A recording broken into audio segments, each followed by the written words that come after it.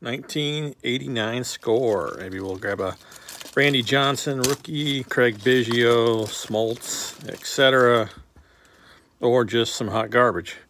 Oddibe McDowell, Billy Hatcher, Phil Bradley, Randy Bush, Mark McLemore, Jim Pankovits, stupid trivia thing, Mike Henneman, Kent Tekulve, Bob Knepper, Bob Brower, Zane Smith, Shawn Hillegas, Joaquin Andujar, Paul Zuvella, Orel Hershiser highlight, screw him because he beat my A's in 88, and an 88 highlight of Wade Boggs. So we got hot garbage.